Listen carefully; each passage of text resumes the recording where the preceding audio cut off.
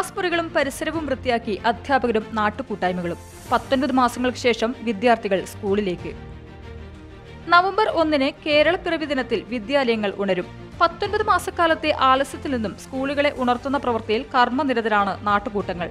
അധ്യാപകരും രക്ഷിതാക്കളും ജനപ്രതിനിധികളും നാട്ടുകാരും സന്നദ്ധ സംഘടനകളും എല്ലാം ചേർന്ന് കൂട്ടായ്മയിൽ പ്രവർത്തിക്കുന്നു.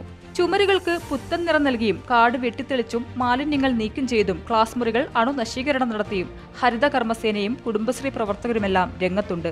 ഏതെല്ലാം തരത്തിൽ കുഞ്ഞുങ്ങൾക്ക് സുരക്ഷിതമായ ക്ലാസ് മുറികളും സ്കൂൾ അന്തരീക്ഷവും നൽകാമെന്ന പരിശ്രമമാണ് നാട്ടിലെങ്ങും.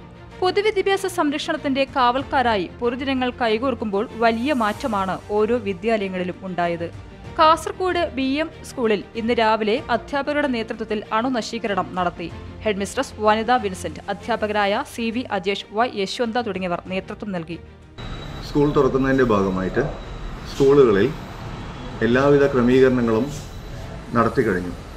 പരിസര ശുചീകരണവും മറ്റു പ്രവർത്തനങ്ങളും കുട്ടികൾക്കുള്ള സൗകര്യങ്ങളും അതോടൊപ്പം തന്നെ മുനിസിപ്പാലിറ്റിയുടെയും വിദ്യാഭ്യാസ വകുപ്പിന്റെയും ആരോഗ്യ വകുപ്പിന്റെയും സംയുക്തമായിട്ടുള്ള മേൽനോട്ടത്തിൽ എല്ലാവിധ ക്രമീകരണങ്ങളും സ്കൂളിലെ അധ്യാപകരും പി ടി എയും ഇവിടുത്തെ നാട്ടുകാരും ഇവിടെ നടത്തി കഴിഞ്ഞു വളരെയധികം നന്ദിയുണ്ട്. എല്ലാവിധ പ്രതീക്ഷകളോടുകൂടെ നവംബർ ഒന്നിനെ ഞങ്ങൾ കാത്തിരിക്കുന്നു.